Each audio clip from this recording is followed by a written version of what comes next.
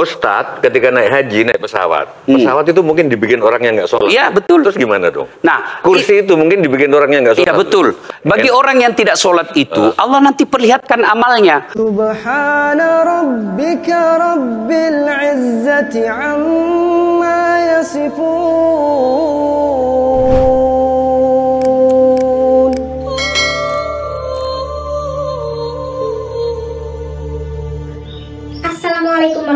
Warahmatullahi wabarakatuh. Bismillahirrahmanirrahim. Alhamdulillah wa syukurillah wa ala nikmatillah. Segala puji hanya bagi Allah Rabb semesta alam yang telah melimpahkan segala nikmat dan karunia-Nya kepada kita semua. Sahabat beriman yang dimuliakan Allah di mana pun berada Kadangkala kita jumpai adanya umat Islam yang justru malah ingin merendahkan para ustadz dan ulama hanya demi membela kepintaran orang kafir dalam berargumen, memutarbalikan fakta, dan bersilat lidah. Padahal seharusnya kita sadar bahwasanya ilmu itu berasal dari Allah, ilmu itu milik Allah, bukan milik manusia, siapa pun orangnya, baik itu muslim maupun orang-orang kafir.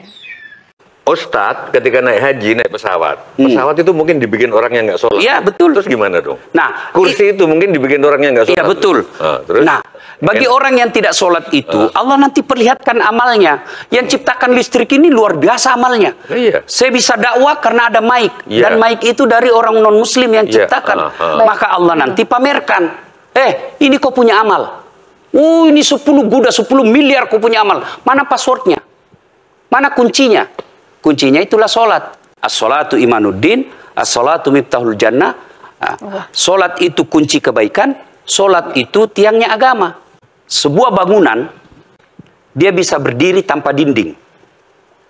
Sebuah bangunan, dia bisa kokoh tanpa atap. Tapi ketika bangunan tidak punya tiang, pasti tidak kokoh. Tiang itulah dalam agama sholat. Jadi apa yang dikatakan oleh Ustadz ini benar adanya. Tiang kebaikan adalah sholat. Lalu bagaimana dengan jawaban dari Al-Quran? Mari kita lihat bagaimana Allah menjelaskan. Kebajikan itu bukanlah menghadapkan wajahmu ke arah timur atau barat.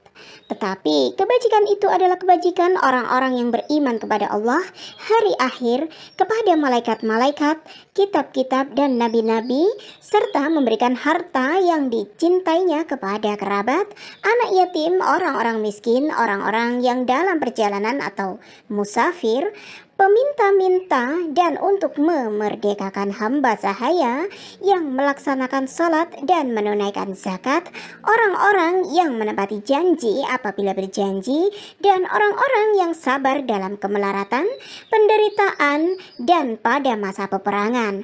Mereka itulah orang-orang yang benar dan mereka itulah orang-orang yang bertakwa. Adapun seorang beriman atau orang-orang yang sholat tetapi amalnya tidak diterima oleh Allah Subhanahu wa taala, maka contohnya seperti berikut ini.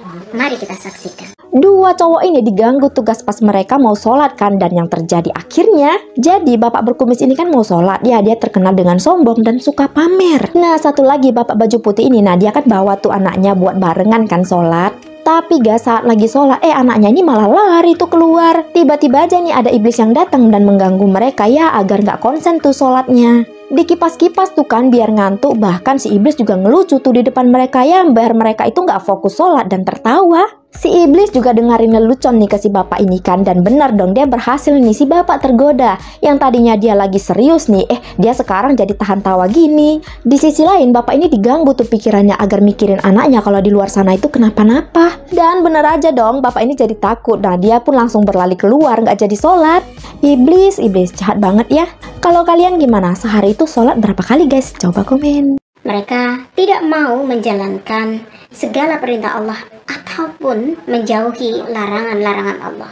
Contohnya seperti berikut ini.